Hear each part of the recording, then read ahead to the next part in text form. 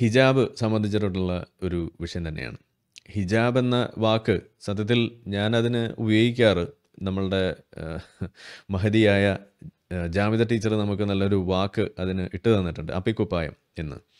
അത് ആണ് പലപ്പോഴും ഞാനും ഉപയോഗിക്കാറുള്ളത്. എന്തുകൊണ്ടാണെന്ന് വെച്ചാൽ ഒരു വസ്ത്രം എന്ന നിലയ്ക്ക് ഒരു തരത്തിലും നമുക്ക് കാൽക്കുലേറ്റ് ചെയ്യാൻ പറ്റാത്ത അങ്ങനെ കൺസിഡർ ചെയ്യാൻ പറ്റാത്ത ഒരു സാധനമാണ് ഈ പറയുന്ന ഹിജാബ് എന്ന് പറയുന്നത്. പക്ഷേ അത് ഒരു വസ്ത്രമാണ് എന്ന ഒരു ധ്വനി സൃഷ്ടിച്ചുകൊണ്ട് അതിന്റെ രൂപേണ ആളുകളിലേക്ക് ഇറങ്ങിച്ചെന്നുകൊണ്ട് അതിടുന്ന ആളുകൾക്ക് മുഴുവൻ എന്തോ ഒരു സംഭവം കിട്ടുന്നു എന്നൊരു പ്രതീതി വരെ ഉണ്ടാക്കി വെക്കുന്ന തരത്തിലേക്ക് വന്നുകൊണ്ട് അതെന്തുകൊണ്ട് കിട്ടുന്നു?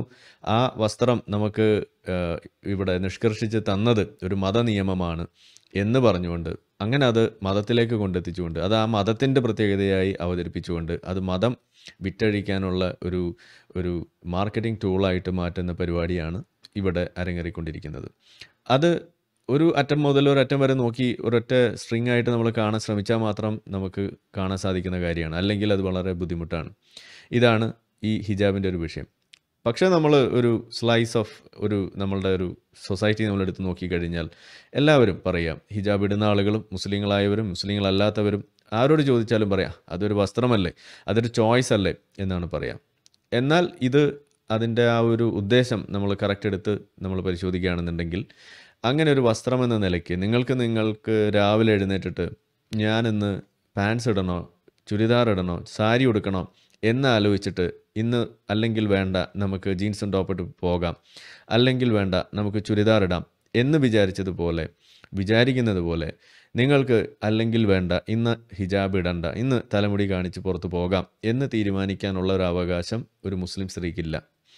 അങ്ങനെ ലഭിക്കുന്ന മുസ്ലിം സ്ത്രീകളുണ്ടാവും. അതെന്തുകൊണ്ടാണ്?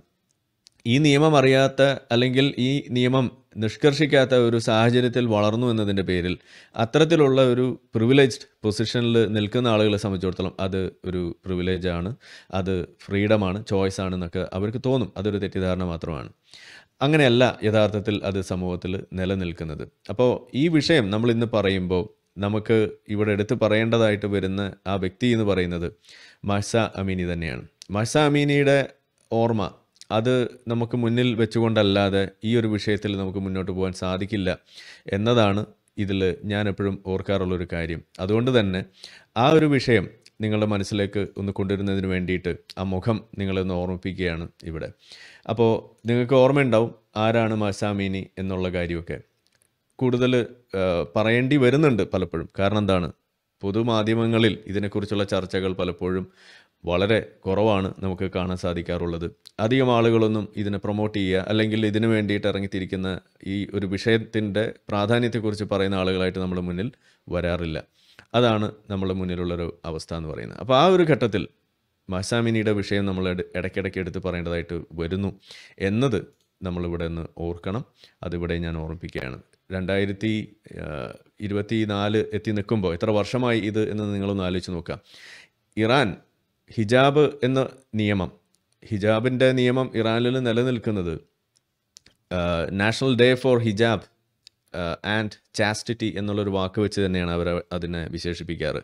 അതായത് ഇവിടെ നിങ്ങൾ ചോയ്സ് ആണെന്ന് പറയുന്ന സാധനം യഥാർത്ഥത്തിൽ ഇസ്ലാം നിലനിൽക്കുന്ന സ്ഥലങ്ങളിൽ ഹിജാബ് ചേർത്ത് വെക്കപ്പെടുന്നത് ചോയ്സ് എന്ന വാക്കോ വാക്കിനോടൊപ്പം അല്ല അത് ചാസ്റ്റിറ്റി എന്ന് പറയുന്ന ഒരു വാക്കിനോടൊപ്പമാണ് ചാരിത്രം എന്നൊക്കെ നിങ്ങൾക്ക് വേണമെങ്കിൽ പറയാം.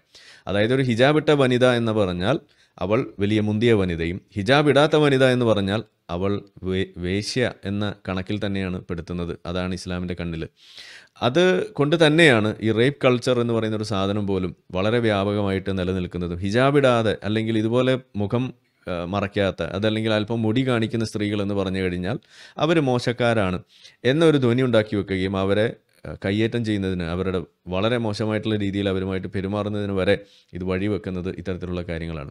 അപ്പം ഞാനിത് ഈ ഒരു കാര്യങ്ങളൊക്കെ പറയുന്നത്. ഇപ്പോൾ താജിക്കിസ്ഥാനിൽ ഹിജാബ് ബാൻ ചെയ്തു എന്നത് സംബന്ധിച്ചിട്ടിപ്പോൾ കൂടുതൽ പറയാനൊന്നുമില്ല. ഇത് ആദ്യമായിട്ടല്ല അങ്ങനെ ഒരു സംഭവം ഉണ്ടാവുന്നത്. താജിക്കിസ്ഥാൻ മാത്രമല്ല അങ്ങനെ സംഭവിച്ചിട്ടുള്ളത് അവിടെ മാത്രമല്ല. അതിനപ്പുറം ഇപ്പുറയൊക്കെയുള്ള പല സ്ഥലങ്ങൾ ഇപ്പോൾ കിർഗിസ്ഥാൻ ഉസ്ബെക്കിസ്ഥാൻ ഇങ്ങനെയൊക്കെയുള്ള പല പല സ്ഥാനങ്ങളുണ്ടല്ലോ. ഇവിടെയൊക്കെ ഇതുപോലെയുള്ള ബാൻ അത് മുന്നേ തന്നെ പല രീതിയിൽ വന്നിട്ടുണ്ട്. സ്കൂളിൽ ബാൻ ഉണ്ടായിട്ടുണ്ട് കോളേജുകളിൽ ബാൻ ഉണ്ടായിട്ടുണ്ട് പബ്ലിക് സ്പേസസിലുള്ള ബാൻ ഉണ്ടായിട്ടുണ്ട്. ഇതെല്ലാം അവിടെ നടക്കുന്നു. ഇതുകൂടാതെ ചില അനധികൃതമായ പള്ളികൾ പോലും പൊളിച്ചു കളയുന്ന അവസ്ഥ ഉണ്ടായിട്ടുണ്ട്. അപ്പോൾ ഇതൊക്കെ നമ്മൾ ആലോചിക്കേണ്ടത് ഇത് ചെയ്യുന്ന സമയത്ത് സത്യത്തിൽ ഈ സ്ഥലങ്ങൾ എന്ന് പറയുന്നത് ഒരു ഇസ്ലാമിക രാജ്യം എന്ന് നമുക്ക് വിളിക്കാൻ പറ്റുന്ന രീതിയിൽ ഭൂരിപക്ഷം ഇസ്ലാം അല്ലെങ്കിൽ ഇസ്ലാം മത വിശ്വാസികളുള്ള സ്ഥലമാണ് എന്നും കൂടി നമ്മളൊന്ന് ആലോചിക്കണം. അങ്ങനെയുള്ള സ്ഥലങ്ങളാണ് ഇത് എന്നതാണ് ഇതിന്റെ ഒരു വലിയ പ്രത്യേകത. അവിടെയാണ് ഈ സംഗതി നമ്മൾ പറയുമ്പോൾ മുസ്ലിങ്ങൾ എന്ന ആ ജനവിഭാഗം അവർ വസിക്കുന്ന ഭൂരിപക്ഷമുള്ള ആ- സ്ഥലങ്ങളിൽ പോലും ഇത്തരത്തിലുള്ള നിയമങ്ങൾ നടപ്പിലാക്കേണ്ടി വരുമ്പോൾ ഉണ്ടാകുന്ന ആ വിഷയം എങ്ങനെയാണ് ചർച്ച ചെയ്യപ്പെടുന്നത്? എവിടെ ആരും ഒന്നും മിണ്ടുന്നില്ല. എല്ലാവരും നിശബ്ദരാണ്. ഒന്നും പറയാനില്ല എന്നതാണ്. അപ്പോൾ ഈ വാർത്ത നമുക്കൊറ്റ ശ്വാസത്തിൽ പറഞ്ഞ് അങ്ങ് പോകാൻ പറ്റുന്നൊരു സാധനമാണ്. അതിനെങ്ങനെ നീട്ടി വലിച്ച് പറയേണ്ട കാര്യമൊന്നുമില്ല. പക്ഷെ ഞാനിതിൽ കാണുന്ന കാര്യം എന്ന് പറയുന്നത് തുടക്കത്തിൽ പറഞ്ഞ ആ വിഷയം ഹിജാബ് ഒരു വസ്ത്രമാണ് എന്ന് നോർമലൈസ് ചെയ്തുകൊണ്ട് അതൊരു ക്ലോതിങ് ഐറ്റമാണ് എന്ന് ആ ഒരു ധ്വനി ഇവിടെ സ്ഥാപിച്ചുകൊണ്ട് ആ രീതിയിൽ മുന്നോട്ട് പോയിരുന്ന ഒരു സാഹചര്യം. അത് അങ്ങനെയല്ല. ഇതൊരു മതചിഹ്നം തന്നെയാണ്. അതൊരു കൾച്ചറൽ ഇൻവേഷനാണ് അവിടെ ഉണ്ടാക്കുന്നത് എന്ന കൃത്യമായ ഒരു സന്ദേശം അതിന്ന് ലോകത്ത് എത്തിയിരിക്കുന്നു. അതിന്റെ ലക്ഷണമാണ് നമ്മൾ പല സ്ഥലങ്ങളിലായിട്ട് കാണുന്നത്. അത് ഇസ്ലാമിക രാജ്യത്തുണ്ട്. മുസ്ലിം ഭൂരിപക്ഷമാ എന്ന എന്നാൽ ഇസ്ലാമിക രാജ്യമല്ലാതെയുള്ള സ്ഥലങ്ങളിലുണ്ട്. ഇസ്ലാമിക രാജ്യമല്ലാതെയുള്ള മറ്റ് സെക്യുലർ ആൻഡ് ഡെമോക്രാറ്റിക് കൺട്രീസ് ഉണ്ട് യൂറോപ്യൻ രാജ്യങ്ങളുണ്ട് ഇപ്പോൾ ഫ്രാൻസ് പോലെയുള്ള രാജ്യങ്ങളുണ്ട്. ഇങ്ങനെയുള്ള പല സ്ഥലങ്ങളിൽ ഈ ഒരു വിഷയം സംബന്ധിച്ചിട്ടുള്ള ക്ലാരിറ്റി വന്നുകൊണ്ടിരിക്കുന്നു എന്ന് വരുന്നത്. ഒരു നല്ല ലക്ഷണമാണ് ഒരു ശുഭ സൂചനമാണ് ഇസ്ലാമിന്റെ തനി നിറം ലോകം മനസ്സിലാക്കുന്നു എന്നത് തന്നെയാണ് ഇതിൽ നിന്ന് നമുക്ക് ബോധ്യപ്പെടുന്നത്. അതാണ് ഞാനിവിടെ പറയാൻ ആഗ്രഹിക്കുന്നത്. അപ്പോൾ എന്തുകൊണ്ടാണ് ഇങ്ങനെ ഒരു ബാനിലേക്ക് പോകുന്നത്?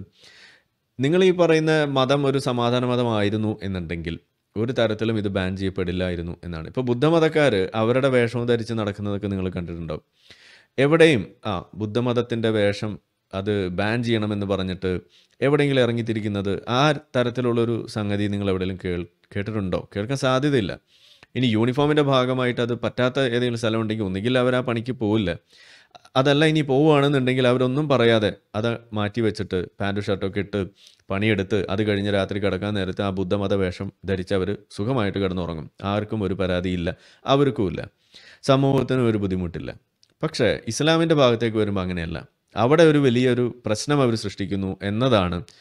അതിൽ ഓരോ ചെറിയ കാര്യങ്ങളെ പോലും എടുത്തു വെച്ചുകൊണ്ട് അതിന്റെ പുറത്ത് നിയമമുണ്ടാക്കിക്കൊണ്ട് ആളുകൾക്ക് അതിന്റെ സന്ദേശം കൊടുക്കാനും അതല്ലെങ്കിൽ അതിനു വേണ്ടിയിട്ടുള്ള കാര്യങ്ങൾക്ക് വേണ്ടി ഇറങ്ങിത്തിരിക്കാനും ഒക്കെ ഉള്ള ഒരു ഗതികേട് ഈ സമൂഹത്തിനുണ്ടാവുന്നത് അപ്പോൾ ഇവിടെ ഇസ്ലാമിന്റെ ഭാഗത്തു നിന്നുണ്ടായിട്ടുള്ള പ്രശ്നം എന്താണ്? അത് ഭീകരവാദം തന്നെയാണ്. ടെററിസം റാഡിക്കലൈസേഷൻ തന്നെയാണ് ഇതിലേക്ക് വഴിവെച്ചത്. അതിനെക്കുറിച്ചുള്ള സൂചനകളാണ് ആ ആ, തരത്തിലുള്ള റാഡിക്കലൈസേഷന്റെ ഒരു ലക്ഷണമാണ് ഈ ഹിജാബ് വർദ്ധിക്കുന്നത് എന്ന് പോലും മനസ്സിലാക്കി തന്നെയാണ്. ആ റാഡിക്കലൈസേഷനെ കൺട്രോൾ ചെയ്യുന്നതിന്റെ ഭാഗമായിട്ട് അതിന് ആദ്യ പടി എന്നോണം ഒരുപാട് സ്റ്റെപ്സ് എടുക്കുമ്പോൾ അതിൽ ആദ്യത്തെ പടിയായിട്ട് ഈ ഹിജാബ് വന്ന് ഭവിക്കുന്നത്. അതാണ് നമ്മളിവിടെ കണ്ടുകൊണ്ടിരിക്കുന്നത്. ഇത് ആദ്യമായിട്ടല്ല ഒരു രാജ്യം എന്ന് പറഞ്ഞു. ഇത് ഏറ്റവും ഭംഗിയായിട്ടെന്ന് ഞാൻ പറയുന്നില്ല. ഏറ്റവും വൃത്തികെട്ട രൂപത്തിൽ ഇപ്പോൾ ചെയ്തുകൊണ്ടിരിക്കുന്ന ഒരു രാജ്യം എന്ന് പറയുന്നത് അത് ചൈനയാണ്. ഉയ്ഗൂർ മുസ്ലിംസ് അവർ നേരിടുന്ന പ്രശ്നങ്ങളെക്കുറിച്ച് നിങ്ങൾ പല സ്ഥലങ്ങളിലും നിങ്ങൾ കേൾക്കണമെന്ന് വിചാരിച്ചിട്ടുണ്ടാവും എവിടെയും നിങ്ങൾ കേൾക്കില്ല. കാരണം എന്താണ്? ഒരാളും മിണ്ടില്ല. ഒന്നാമത്തെ കാരണം ഓൾ ഐസ് ഓൺ റാഫ ആണല്ലോ. എല്ലാ കണ്ണും അവിടെയാണ് ഇരിക്കുന്നത്. അപ്പോൾ പിന്നെ കണ്ണ് ബാക്കിയില്ലാത്തതുകൊണ്ടാണ് നിങ്ങൾ ഒന്നും കാണാത്തത്. പക്ഷേ റാഫ ഇപ്പോഴല്ല ഇതിന് മുന്നേ ഉണ്ടായിരുന്നല്ലോ. ഈ വിഷയമെന്ന് നിങ്ങൾ ചോദിക്കുന്നുണ്ടെങ്കിൽ അപ്പോൾ നിങ്ങൾ അറിയേണ്ടത് ഇത് ചൈനയാണ്. ചൈനയുടെ അടുത്ത് ആരും അങ്ങനെ കണ്ണ് കൊടുക്കാറില്ല. കണ്ണ് കൊടുത്താൽ ചൈന കണ്ണുമായിട്ട് പോകും. അങ്ങനെ ഒരു പ്രശ്നമുള്ളതുകൊണ്ട് ആരും ആ പണിക്ക് നിൽക്കാറില്ല എന്നുള്ളതാണ്. അവിടെ എന്താണ് ചൈന ചെയ്തുകൊണ്ടിരിക്കുന്നത്? സിനിഫിക്കേഷൻ എന്ന് പറയുന്ന ഒരു ഒരു രീതി. അതായത് എന്ത് സംഗതിയും നിങ്ങൾ എടുത്തു കഴിഞ്ഞാൽ അതിനെ ചൈനീസ് വൽക്കരിച്ച് അങ്ങ് കൈ കൊടുക്കും. ഇസ്ലാമിനെ അങ്ങ് എടുത്തു കൊടുത്തപ്പോൾ നല്ല അസൽ അറബിയിലുള്ള ബാങ്ക് വിളിയൊക്കെ ഇന്നിപ്പോൾ ചൈനീസിലാണ് വിളിക്കണതെന്ന് വരെ പറഞ്ഞാൽ നിങ്ങൾക്ക് ആ രീതിയിൽ മനസ്സിലാക്കാൻ വേണ്ടിയിട്ട് വേണമെങ്കിൽ നമുക്ക് പറയാം. അതല്ല ചെയ്തിരിക്കുന്നത്. എന്തായാലും അവർ ചെയ്തത് എന്താണ്? അറബി ഭാഷ. അറബി ഭാഷയുടെ പബ്ലിക്കായിട്ടുള്ള ഉപയോഗം അത് തടയുന്നു. അത് പഠിപ്പിക്കുന്നത് കൺട്രോൾ ചെയ്യുന്നു. ഒരു കുട്ടികളെ അതുപോലെ ചെറിയ പ്രായത്തിലുള്ള ആളുകളെയൊക്കെ മതം പഠിപ്പിക്കുന്നതും അതിന് എക്സ്പോസ്ഡ് ആക്കുന്നതും തടയുന്നു. പള്ളികൾ അനധികൃതമായിട്ട് പണിതിട്ടുള്ള എല്ലാ പള്ളിയും പൊളിക്കുന്നു. ഇനി അധികൃതമായിട്ട് തന്നെ പണിതിട്ടുള്ള പള്ളിയാണെന്നുണ്ടെങ്കിൽ അതിന്റെ മിനാരം അതൊക്കെ പൊളിച്ചിട്ട് അത് ചൈനീസ് പഗോഡ അതിന്റെ ആ രൂപത്തിലേക്ക് മാറ്റുന്നു. അങ്ങനെ ഇവിടെ അങ്ങനെ മിനാരമൊന്നും വേണ്ട. അതുപോലെ പബ്ലിക്കായിട്ട് അറബിയിൽ എഴുതി വെച്ച സാധനമൊക്കെ വായിച്ചിട്ട് എല്ലാം ചൈനീസ് ഭാഷയിലേക്ക് ആക്കുന്നു. എന്താണ് അതിന്റെ ഉദ്ദേശം?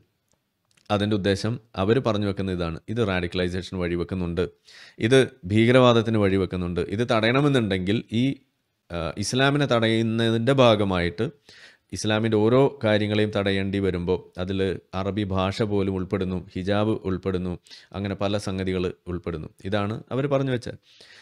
അവിടെ ഉയർഗൂർ മുസ്ലിംസിനെ എന്താണ് മറ്റു രീതിയിൽ ചെയ്തുകൊണ്ടിരിക്കുന്നത്? അവരെ നിർബന്ധിതമായിട്ട് അവരുടെ ഫാമിലിയിൽ നിന്നും വേർപിടിപ്പിച്ചിട്ട് അവരെ വേറെ സ്ഥലങ്ങളിൽ കൊണ്ടുപോയി പാർപ്പിച്ചിട്ട് നിർബന്ധപൂർവം ചൈനീസ് ആശയങ്ങൾ കുത്തിവെച്ച് പഠിപ്പിക്കുകയാണ്. നിങ്ങൾ ഇതാണ് പഠി പഠിക്കേണ്ടത് എന്ന് പറഞ്ഞ് അങ്ങോട്ട് കൊടുത്തുകൊണ്ടിരിക്കുകയാണ്. ഇങ്ങനെ കൊടുത്തു കൊടുത്താണ് അവരെ ഇപ്പോൾ മാറ്റിക്കൊണ്ടിരിക്കുന്നത്. ഇതാണ് അവിടെ ചൈന ചെയ്തുകൊണ്ടിരിക്കുന്നത്. അതായത് ഒരു തരത്തിൽ പറഞ്ഞാൽ ഒരു കോൺസെൻട്രേഷൻ ക്യാമ്പ് തന്നെയാണ്. അവിടെ നോമ്പ് നോമ്പെടുക്കാൻ സമ്മതിക്കില്ല നിസ്കരിക്കാൻ സമ്മതിക്കില്ല ഇതെല്ലാം അവിടെ നടക്കുന്നു. അങ്ങനെയൊക്കെ ചെയ്ത് ഇരിക്കുന്ന സമയത്ത് ഒന്നും പറയാൻ പറ്റാതിരിക്കുന്ന സമയത്ത് ഒരു സ്ഥലത്തും ഓൾ ഐസോൺ ചൈന എന്ന് കേൾക്കാതിരിക്കുന്ന സമയത്ത് അവിടെയാണ് നമ്മളുടെ കോവിഡ് വന്നതും. ഒപ്പം തന്നെ ഇവർ ഇറങ്ങി ആ കണ്ടില്ലേ? അത് ചൈനയ്ക്ക് കൊടുത്ത ശിക്ഷയാണ് എന്ന് പറഞ്ഞ് ഇറങ്ങി തിരിച്ചു. പക്ഷേ ആ ശിക്ഷ വണ്ടി പിടിച്ച് നേരെ അവിടെ മക്കയിൽ വന്ന് ഇരിപ്പ് അങ്ങ് ഉറപ്പിച്ചു കസേര വലിച്ചിട്ടിരുന്ന് അവിടെ ഹജ്ജ് വരെ പൂട്ടിയിടേണ്ടി വന്നപ്പോൾ ചൈനയ്ക്ക് കൊടുത്ത ശിക്ഷ ഇപ്പുറത്തെത്തിയപ്പോൾ അത് മുസ്ലിങ്ങൾക്കുള്ള പരീക്ഷണമായിട്ട് മാറി. ഇതാണ് ഉണ്ടായത്. അപ്പോൾ അത് സാന്ദർഭികമായിട്ട് നമ്മൾ പറഞ്ഞു എന്നേ ഉള്ളൂ. ഇതാണ് സംഭവിച്ചത്. അപ്പോൾ ഏതൊരു വിഷയം ഉണ്ടായാലും അതിനകത്ത് അതിലും മതം വിൽക്കാൻ വേണ്ടി നോക്കുന്ന പരിപാടിയാണ് അവിടെ പോലും നമ്മൾ കണ്ടത്. അപ്പോൾ ഇന്നലെ നമ്മൾ മറ്റൊരു വീഡിയോ ചെയ്തിരുന്നു. അവിടെ സൗദി അറേബ്യയിൽ ആയിരക്കണക്കിന് ആളുകളാണ് കൊല്ലപ്പെട്ടത്. ആർക്കും ഒരു പരാതിയില്ല. ചൈന സോറി സൗദി അറേബ്യക്കാർക്ക് പോലും പരാതിയില്ല. മുസ്ലിങ്ങൾ എവിടെയും അതിനെക്കുറിച്ച് മിണ്ടുന്നില്ല. അതൊരു വലിയ വിഷയമേ അല്ല അവർ പറയുന്നത് എന്താണ്? ഏറ്റവും മഹത്തരമായ മരണമാണ് അവിടെ ലഭിച്ചത് എന്നാണ് പറയുന്നത്. അത് നമ്മൾ കണ്ടു. ചത്ത് മലച്ചിങ്ങനെ കിടക്കുകയാണ് പൊരിവയലത്ത് ഒരു മനുഷ്യനില്ല തിരിഞ്ഞു നോക്കാൻ. ഇതാണ് നമ്മൾ കണ്ടത് മഹത്തരമായ മരണം. അത് നല്ല കാര്യം തന്നെയാണ് ഒരു സംശയമില്ല എത്രയും പെട്ടെന്ന് അവിടെ പോയി മരിക്കണം എന്നാണ് ഞാനും പറയുന്നത്. അവിടെ നമ്മൾ പറയുമ്പോൾ അതിനെ പോലും അത് അള്ളാഹുവിന്റെ തീരുമാനമാക്കി അതിനെ മാറ്റുകയാണ്. എന്നിട്ട് അതിൽ സമാധാനം കണ്ടെത്തുകയാണ്. അപ്പോഴും നമ്മൾ ആലോചിക്കേണ്ടത് അത് അനാവശ്യമായിട്ടുള്ള ഒരു സാധനമാണെന്നാണ് നമ്മൾ പറഞ്ഞു വെച്ചത്.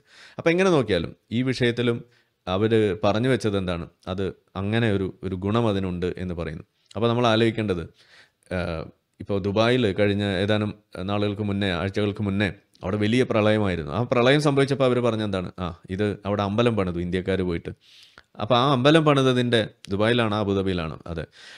അതിന്റെ ശിക്ഷയാണ് അവിടെ പ്രളയം വന്നത് എന്നാണ് പറഞ്ഞത്. അപ്പോൾ എന്തിനും ഒരു കാരണം അവർ കണ്ടെത്തും എന്ന് ഇരിക്കെ ഞാൻ അവരോട് ദയവായിട്ട് അഭ്യർത്ഥിക്കുകയാണ്.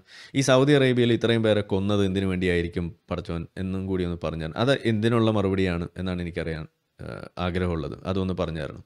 അപ്പോൾ എന്തായാലും ഇവിടെ ഇപ്പോൾ താജിക്കിസ്ഥാനെ കുറിച്ച് നമ്മൾ പറയുകയാണെന്നുണ്ടെങ്കിൽ ഇതുപോലെ ഒരു വളരെയധികം മുസ്ലിങ്ങൾ ഭൂരിപക്ഷം അത് തന്നെ സുന്നി മുസ്ലിംസ് തന്നെയുള്ള ഒരു സ്ഥലമാണ് ഈ താജിക്കിസ്ഥാൻ എന്ന് പറയുന്നത്. ആ സ്ഥലത്താണ് ഈ പ്രശ്നം ഇപ്പോൾ അവിടെ നമുക്ക് കാണാൻ കഴിയുന്നത്. ഹിജാബ് ബാൻ ചെയ്തതായിട്ട്.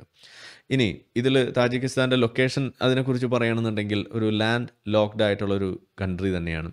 അവിടുത്തെ ജനങ്ങൾ എന്ന് പറഞ്ഞു കഴിഞ്ഞാൽ വളരെയധികം ഇപ്പോൾ ഒരു ഇന്ത്യക്കാരൻ എന്ന് പറയുമ്പോൾ നിങ്ങളുടെ മനസ്സിലേക്ക് ഒരു രൂപം വരുന്നുണ്ടെങ്കിൽ എന്തായിരിക്കും ആ രൂപം വരുന്നത്?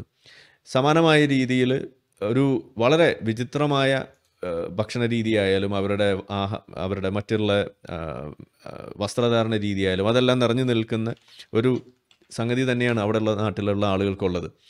പക്ഷേ നമ്മൾ പറയുന്നത് അതിനെ കവറപ്പ് ചെയ്തുകൊണ്ട് ഒരു കറുത്ത ഒരു പടുത ഇട്ട് എല്ലാം അങ്ങ് പൊതിയുന്ന ഒരു പരിപാടി. ഇതാണ് ഇവിടെ സംഭവിക്കുന്നത് എന്ന് നമ്മൾ പറയുമ്പോൾ അതിനെ തടുക്കാൻ വേണ്ടിയിട്ട്. ഇത് താജിക് കൾച്ചറിനെതിരാണ് എന്ന് പറഞ്ഞിട്ടാണ് ഇവിടെ ഇറങ്ങിത്തിരിക്കുന്നത്. അപ്പോൾ നമ്മൾ അതിന്റെ ആ ഒരു വാർത്ത നമ്മളൊന്ന് ഓടിച്ചു നോക്കുന്നത് നന്നായിരിക്കും. അപ്പോൾ അതിന് വേണ്ടിയിട്ട് ഒരു ശ്രമം ഇവിടെ നടത്തുകയാണ്. പക്ഷേ ഒരു കാര്യം നമ്മളപ്പോൾ അവിടെ ആലോചിക്കേണ്ടത്. ഇതിനു വേണ്ടി നമ്മൾ ശ്രമിക്കുമ്പോൾ ഇന്ത്യയിലടക്കം ഈ വിഷയം നമ്മൾ സംസാരിക്കാൻ വേണ്ടി നോക്കുമ്പോൾ അതിനു വേണ്ടിയിട്ടുള്ള പത്രവാർത്തകൾ അത് ഇവിടുത്തെ മെയിൻ സ്ട്രീം മാധ്യമങ്ങളൊന്നും വലിയ തോതിൽ റിപ്പോർട്ട് ചെയ്യുന്നില്ല എന്നതാണ് ഇതിലെ ഒരു പ്രധാനപ്പെട്ട ഒരു തമാശ. അതെന്തുകൊണ്ടായിരിക്കും എന്നുള്ളത് നിങ്ങൾ വല്ലാതെ കൂടുതൽ ആലോചിക്കേണ്ട കാര്യമൊന്നുമില്ല. കാരണം എന്താണ്? ഇതങ്ങനെയാണല്ലോ. ഇതിനെക്കുറിച്ച് കൂടുതൽ മെയിൻ സ്ട്രീം മീഡിയയ്ക്കൊന്നും പറയാൻ സാധിക്കില്ല എന്നത് തന്നെയാണ് അതിന്റെ ഒരു പ്രശ്നം. അപ്പോൾ ഇവിടെ നമ്മൾ അതും ഒന്ന് പരിശോധിക്കേണ്ടി വരികയാണ്. അതുകൊണ്ട് തന്നെ ആ വിഷയത്തിന്റെ ഒരു വാർത്ത എന്നാണ് ഞാൻ ഇന്ന് എടുത്തിരിക്കുന്നത് ഓർഗനൈസറിൽ നിന്നുള്ള ഒരു വാർത്ത തന്നെയാണ്. അത് നിങ്ങൾക്ക് കുറച്ചും കൂടി വിശദമായിട്ട് വായിക്കാൻ വേണ്ടിയിട്ട്. അപ്പം അതിലേക്ക് കിടക്കുന്നതിന് മുന്നേ ഇവിടെ നിങ്ങൾക്ക് ഈ ചിത്രത്തിൽ കാണാം. ഒരു താജിക് കൾച്ചർ എങ്ങനെ ഇരിക്കുമെന്ന് അറിയുന്നതിന് വേണ്ടിയിട്ട് അവരുടെ ആ വേഷവിധാനവും അവരുടെ രൂപവും ഒക്കെ. അപ്പോൾ നമ്മൾ ആലോചിക്കേണ്ടത് ഹിജാബ് എന്ന് പറയുന്ന സാധനം അത് ചേർത്ത് വെക്കപ്പെടുന്നത് ചാസ്റ്റിറ്റി എന്ന് പറയുന്ന ഒരു വാക്കാവുമ്പോൾ ഇത്ര മാന്യമായിട്ടുള്ള വസ്ത്രം ധരിച്ച് നിൽക്കുന്ന ആളാണെങ്കിലും ശരി ഹിജാബ് ഇട്ടില്ല എന്നുണ്ടെങ്കിൽ ഹിജാബ് അവിടെ ഒരു മെയിൻ സ്ട്രീമിലേക്ക് വന്നു കഴിഞ്ഞാൽ പിന്നെ ഈ വേഷം വേഷമിട്ട് നടക്കുന്ന ആളുകളെല്ലാം വെറും വേശ്യകളാണ് എന്നാണ് ഇസ്ലാമിന്റെ കാഴ്ചപ്പാട്. അതാണ് ഹിജാബിന്റെ ആ ഒരു മുന്നറിയിപ്പ് എന്ന് പറയുന്നത്. അതുകൊണ്ട് തന്നെയാണ് ഇതിനെക്കുറിച്ച് അറിയുന്ന ആളുകൾ നിയമം ഉണ്ടാക്കും. ഇനി ആ വാർത്തയിലേക്ക് കിടക്കുന്നതിന് മുന്നേ ഒരു കാര്യം കൂടി പറഞ്ഞു വെക്കുകയാണ് അതായത് എന്തുകൊണ്ട് ഇത്തരം സംഗതികൾ വരുമ്പോൾ എനിക്ക് സന്തോഷം വരുന്നു? ഇതാണല്ലോ ഇതിലെ പ്രശ്നം. ആരിഫ് ഹുസൈന് ഇസ്ലാമിനെ അടിക്കാൻ ഒരു വടി കിട്ടി എന്നുള്ള രീതിയിലായിരിക്കും നിങ്ങൾ ഇതിനെ കാണുന്നത്. അതുകൊണ്ടല്ല വടി സ്വാഭാവികമായിട്ട് വടി തന്നെയാണ്. കാരണം ഞാൻ തെരഞ്ഞു നടക്കുന്ന സാധനം തന്നെയാണ്. അതെനിക്ക് കിട്ടി. പക്ഷേ അതിനേക്കാൾ ഉപരി നമ്മൾ പറഞ്ഞുകൊണ്ടിരിക്കുന്ന കാര്യം അത് ശരിവെക്കുന്ന കാര്യങ്ങൾ കൂടി വരുന്നതുകൊണ്ടാണ് നമുക്ക് സന്തോഷം വരുന്നത്.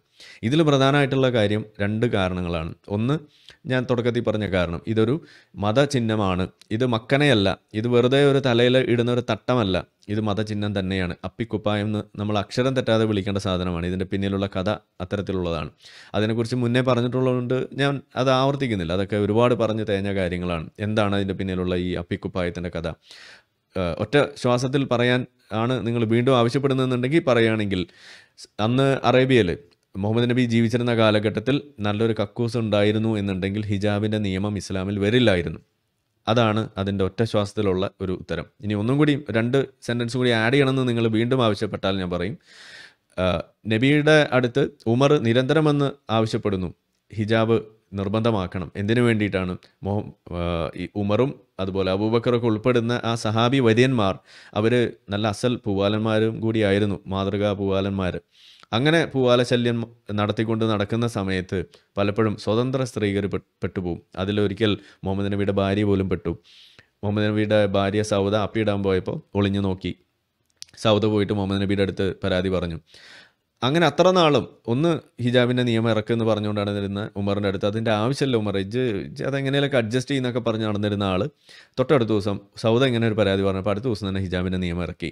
ഇനി ആരും എന്റെ ഭാര്യമാർക്ക് മനസ്സമാധാനമായിട്ട് അപ്പി ഇട ഇടാനെങ്കിലും സാധിക്കണം എന്ന് ചിന്തിച്ചിട്ടാണ് സത്യത്തിൽ അന്ന് ഈ ഹിജാബിന്റെ നിയമം ഇറക്കിയത്. അതാണ് ഞാൻ പറഞ്ഞത്. അന്ന് മര്യാദയ്ക്ക് കക്കൂസ് ഉണ്ടായിരുന്നു എന്നുണ്ടെങ്കിൽ ഈ അൽ മനാസി എന്ന് പറയുന്ന വെളിമ്പറമ്പ് അവിടെ പോയിട്ടായിരുന്നു അപ്പിയിട്ടിരുന്നത് അങ്ങനെ പോകുന്ന സമയത്തായിരുന്നു ഉമർ ഒളിഞ്ഞു നോക്കിയത്. അതായിരുന്നു സൗദ അറിഞ്ഞത്. അതിന്റെ പേരിലായിരുന്നു മുഹമ്മദ് നബിയുടെ അടുത്ത് പോയി പറഞ്ഞത്. അപ്പോഴാണ് അത്ര നാളും ഉമർ പറഞ്ഞതിന്റെ ഗുട്ടൻസ് ഇതാണെന്ന് മനസ്സിലായത്.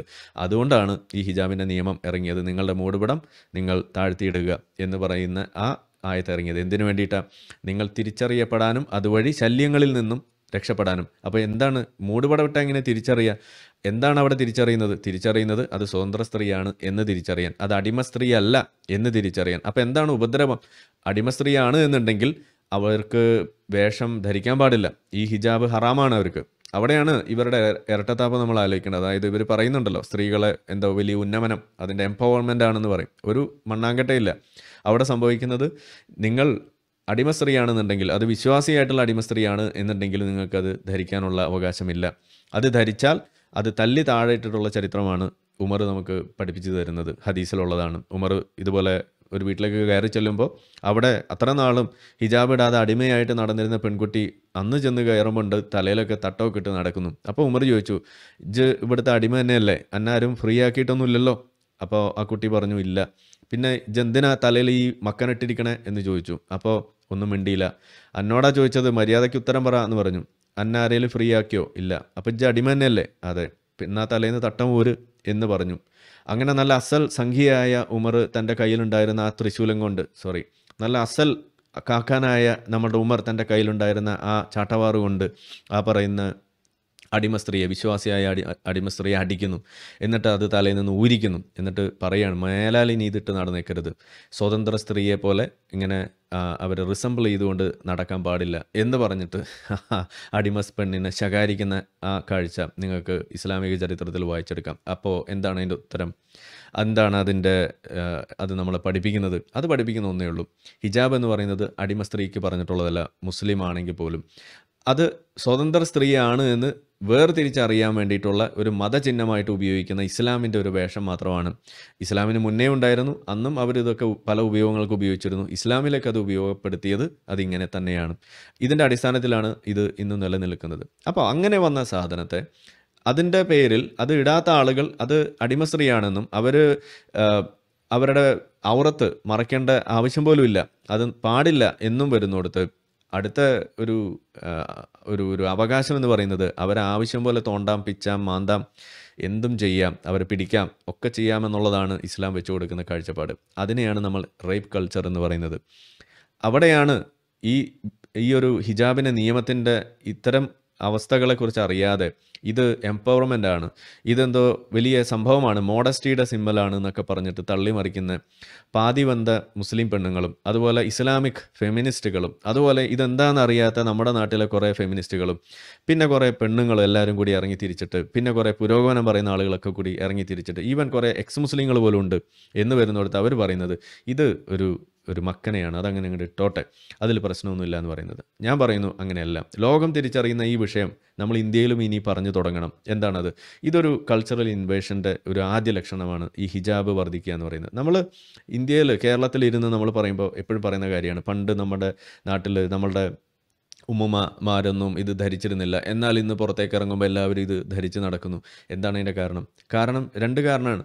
ഒരു കാലഘട്ടത്തിൽ കേരളത്തിലെ കാസറ്റ് കടകളിൽ ഏറ്റവും കൂടുതൽ വിറ്റ് ചെലവാക്കിയിരുന്ന ഒരു കാസറ്റ് എന്ന് പറയുന്നത് തട്ടമിടാത്ത പെണ്ണെ നീ നരകത്തിലാണ് നരകത്തിലെ വിറകുള്ളിയാകണോ നരകത്തിലെ തീയിലേക്കാണ് നീ പോകുന്നത് നിന്റെ മുടിയിട കണ്ടാൽ ആകെ പ്രശ്നമാണ് എന്നൊക്കെ പറഞ്ഞ് പ്രസംഗിച്ച് നടക്കുന്ന കുറേ വയൽ പരമ്പരകൾ അതിന്റെ കാസറ്റുകളായിരുന്നു ഇവിടെ വിറ്റുപോയിരുന്നത് അതിനൊക്കെ ശേഷം പിന്നെ നമ്മൾ കണ്ടത് എന്താണ്? പിന്നെ ഈ സലഫി ആശയക്കാർ ഇവിടെ കൂടുതൽ പേര് ഊന്നുന്ന ഒരു ഘട്ടം വന്നപ്പോൾ അവർ ഒരു പടി കൂടി കടന്ന് തട്ടം മാത്രമല്ല അവർ പിന്നെ പർദ്ദ തന്നെ കൊണ്ടുവരുന്നു. ഹിജാബ് എന്ന് പറഞ്ഞ വാക്ക് ഇവിടെ കൂടുതൽ പ്രോത്സാഹിപ്പിക്കുന്നു. എനിക്കിപ്പോഴും ഓർമ്മയുണ്ട് നമ്മൾ പണ്ട് കോഴിക്കോട് ഞങ്ങൾ ജീവിക്കുന്നു ഞങ്ങളുടെ വിദ്യാഭ്യാസവും ജോലി പാരൻസിന്റെ ഒക്കെ. അത് കഴിഞ്ഞ് ഉമ്മാടെ നാടായിട്ടുള്ള കോട്ടയം ജില്ലയിലേക്ക് നമ്മൾ പോകുന്ന സമയത്ത് ആ സമയം നമുക്ക് ഓർഡറുകൾ പലതും കിട്ടുകയാണ്. എന്താണ്? അവിടെയുള്ള അയൽവക്കത്തുള്ള മുസ്ലിങ്ങൾക്കൊക്കെ ഹിജാബ് വേണം. അപ്പോൾ ഇത് അവിടെ കിട്ടില്ല. അവിടെ അതിനുള്ള കടയില്ല. അപ്പോൾ പണ്ട് ഇപ്പം എങ്ങനെയാണോ ഗൾഫിൽ നിന്നൊക്കെ വരുമ്പോൾ ഓരോ സാധനങ്ങൾ കൊണ്ടുവരുന്നത് എന്ന് പറഞ്ഞ പോലെ ഞങ്ങൾ കോഴിക്കോട് നിന്ന് കോട്ടയത്തേക്ക് പോകുമ്പോൾ കോഴിക്കോടുള്ള പർദ മഹൽ അങ്ങനെ ഏതോ രണ്ട് മൂന്ന് കടയൊക്കെ ഉണ്ടായിരുന്നു അന്ന്. അവിടെ പോയിട്ട് ഇതിങ്ങനെ ഒരു ബാഗ് മുഴുവൻ വാങ്ങിച്ച് കുത്തി നിറച്ചിട്ടാണ് ഇതുമായിട്ട് കോട്ടയത്തേക്ക് വണ്ടി കയറിയിരുന്നത്. എന്നിട്ട് എല്ലാവർക്കും വിതരണം ചെയ്യും. ഇതായിരുന്നു അന്ന് ചെയ്തുകൊണ്ടിരുന്നത്. അപ്പോൾ എന്താ കഥ? ഇത് സംബന്ധിച്ചിട്ടുള്ളൊരു ഒരു കൃത്യമായ ലക്ഷ്യത്തോടു കൂടിയുള്ള ഇത് പ്രചരിപ്പിക്കണമെന്ന ലക്ഷ്യത്തോടു കൂടിയുള്ള ഗൂഢ പ്രവർത്തനം അതിവിടെ നടന്നിട്ടുണ്ട് എന്ന് ഇവിടെ മുന്നേ സാക്ഷ്യപ്പെടുത്തിയത് ഇന്ത്യ വിഷനിലുണ്ടായിരുന്ന എം പി ബഷീറിനെ പോലെയുള്ള മാധ്യമ പ്രവർത്തകർ കൂടിയാണ്. അതിന്റെ വീഡിയോ നമ്മുടെ ചാനലിൽ കിടപ്പുണ്ട്. കേരളത്തിൽ നടന്നിട്ടുള്ള കാര്യമാണ് ഈ പറയുന്നത്. അപ്പോൾ ഇതിന്റെ പിന്നിൽ ഇത് ഹിജാബ് പ്രചരിപ്പിക്കണം എന്ന ഒരു ലക്ഷ്യം അതിവിടെ ഉണ്ടായിരുന്നു.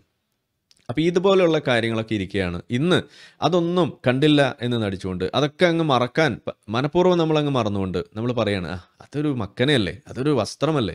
അത് ഇടുന്നവർ ഇട്ടോട്ടെ? എന്ന് പറയുന്ന രീതിയിൽ അല്ല. നമ്മൾ ആദ്യം പറയേണ്ടത് ഇത് മതചിഹ്നമാണ്.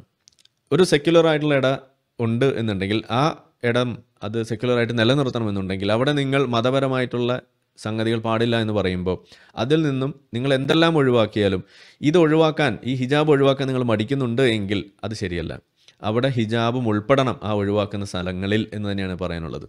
അങ്ങനെ ഒഴിവാക്കുന്നതിന്റെ ഭാഗമായിട്ട് ഇവിടെ പറഞ്ഞു വെക്കുന്നത് എന്താണ്? അങ്ങനെ ഒഴിവാക്കിയാൽ ഇവർക്ക് വീട്ടിൽ നിന്ന് ഇറങ്ങാൻ പറ്റില്ല പഠിക്കാൻ പറ്റില്ല എന്നൊക്കെയാണ് പറയുന്നത്. അതിനെ നേരിടേണ്ടത് ഈ മതചിഹ്നം അവർക്ക് കൂടുതൽ തലയിൽ ഇടാനുള്ള ആ ഒരു ഒരു ധൈര്യം ആ പാരൻസിന് കൊടുത്തുകൊണ്ടല്ല അതിനെ ഒഴിവാക്കേണ്ടത് അല്ലെങ്കിൽ അവരെ വിദ്യാഭ്യാസത്തിലേക്ക് കൊണ്ടുവരാൻ വേണ്ടി ശ്രമിക്കേണ്ടത്.